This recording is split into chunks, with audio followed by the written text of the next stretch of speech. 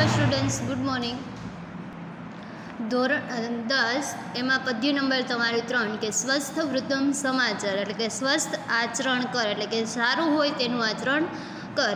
હવે આ પાઠ છે એ કવિ કુલગુરુ કાલિદાસ રચિત એટલે કે એણે રચેલો છે અને શેમાંથી તો કે કુમાર સંભવ મહાકાવ્યના પાંચમા સર્ગના શ્લોકમાં કહ્યું છે કે શરીર માધ્યમ ખલુ ધર્મ સાધનમ. એનો અર્થ એવો છે કે ધર્મ કરવા માટે સૌપ્રથમ શેની જરૂર પડે છે? તો કે શરીરની, એટલે કે ધર્મનું સાધન ધર્મનું પહેલું સાધન શરીર છે. માણસ પાસે ધર્મ સાધના માટે બધી વસ્તુ હોય, પણ જો તેની પાસે સારું સ્વાસ્થ્ય ન હોય, તો તે બધી વસ્તુઓ કેવી છે? નકામી છે.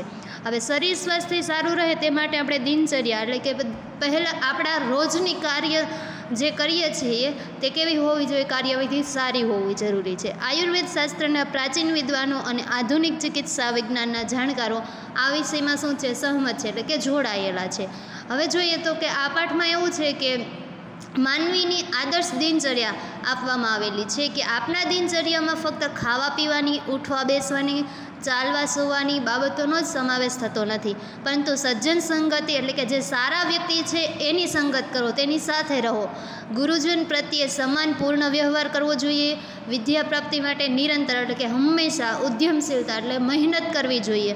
પછી સત્યાચરણ એટલે કે સાચું બોલવું જોઈએ. જેવા સદ્ગુણોને પણ દિનચર્યાના અંગ માનવામાં આવ્યા છે. અનુષ્ટુપ છંદમાં રચાયેલા આઠ શ્લોકોમાં આ આદર્શ દિનચર્યાનું સરળ અને સુંદર આલેખન કરવામાં આવ્યું છે. હવે આપણે પહેલો શ્લોક જોઈએ તો કે બાલ ઉત્તિષ્ઠ સયાતઃ સ્વસ્થ વૃત્તમ સમાચાર. સ્મર જગત વિધાતારમ તત શુદ્ધમ જલમ પીબ. હવે જોઈએ, અહીંયા બાલ બાલ એટલે તો બાળક.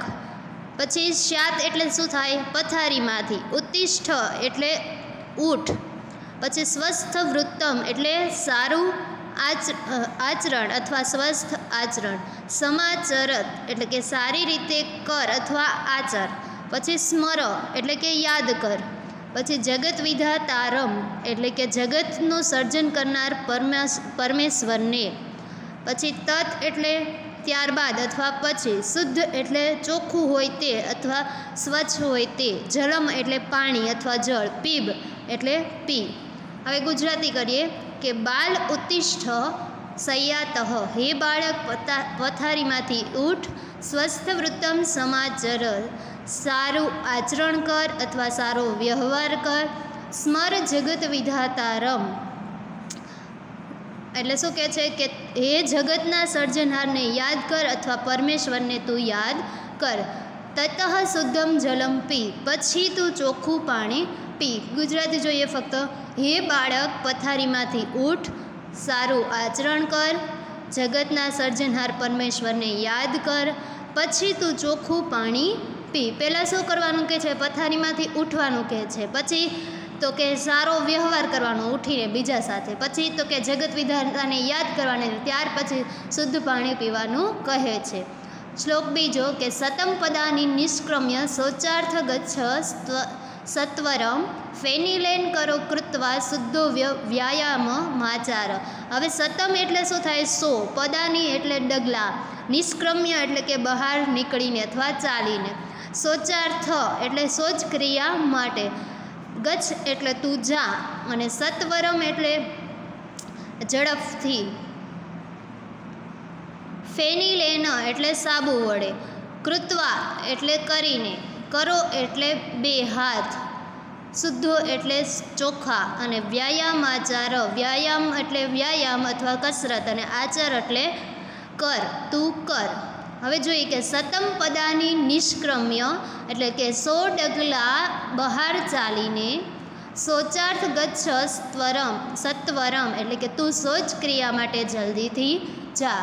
ફેનિલેન કરો કૃત્વા, પછી સાબુથી બે હાથ ચોખ્ખા કરીને શુદ્ધો વ્યાયામ ચાર, એટલે કે ચોખ્ખા કરીને તું કસરત કર. માત્ર ગુજરાતી કે સો ડગલા બહાર ચાલીને તું શૌચ ક્રિયા શૌચ ક્રિયા માટે જલ્દીથી જા. પછી સાબુથી બે હાથ ચોખ્ખા કરીને તું કસરત કર. હવે બીજા શ્લોકમાં શું કરવાનું કીધું છે? પહેલાં શું કહે છે કે સો ડગલા, એટલે કે થોડો દૂર જઈને તું શૌચ ક્રિયા માટે જા. પછી જલ્દીથી જા, એટલે કે ઝડપથી જા ને આવીને બે હાથ સાબુ વડે ચોખ્ખા કર ને પછી તું કસરત કર. હવે ત્રણ, ત્રીજા નંબરનો કે તૈલમ મર્દય કાયે ત્વમ તતઃ સ્નાનમ સમાચર યથાવિધિ જલેનેવ વસ્ત્રમ સ્વયં પ્રધાવ્ય. હવે તૈલમ એટલે તેલ, મર્દય એટલે માલિશ કર. કાય એટલે શરીરે. પછી ત્વમ ત્વમ એટલે તું, તત એટલે પછી. સ્નાનમ સમાચર એટલે કે સ્નાનનું આચરણ કર. યથાવિધિ એટલે કે વિધિપૂર્વક. જલે નેવ એટલે પાણી વડે જ. વસ્ત્રમ એટલે જે કપડાં છે તે. સ્વીયમ એટલે કે પોતાનું. અને પ્રધાવ્ય એટલે બરાબર ધો અથવા સારી રીતે સાફ કર.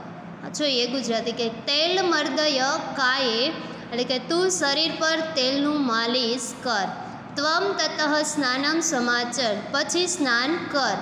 યથાવિધિ જલેનેવ વસ્ત્રમ, પાણી વડે જ વિધિપૂર્વક વસ્ત્રમ સ્વયં પ્રધાવ્ય. પોતાનું વસ્ત્ર બરાબર સાફ કર અથવા બરાબર ધો. માત્ર ગુજરાતી. કે તું શરીર પર તેલનું માલિશ કર, પછી સ્નાન કર, પાણી વડે જ વિધિપૂર્વક પોતાનું વસ્ત્ર સાફ કર. હવે જોઈએ કે પહેલાંમાં આપણને શું કરવાનું હતું? પહેલાં પથારીમાંથી ઉઠવાનું, પછી સારું આચરણ કરવાનું છે, પછી જગત વિધાનતાને યાદ કરવાનું છે, પછી ચોખ્ખું પાણી પીવાનું છે. બીજા શ્લોકમાં તો કે સો ડગલા ચાલીને સો ક્રિયા માટે જવાનું છે અને આવીને બે હાથ સાબુ વડે સાફ કરીને પછી કસરત કરવાનું. પછી ત્રીજા શ્લોકમાં શું કીધું છે કે તેલ, તેલથી શરીર ઉપર શું કરવાનું છે, માલિશ કરવાનું છે, પછી સ્નાન કરવાનું છે.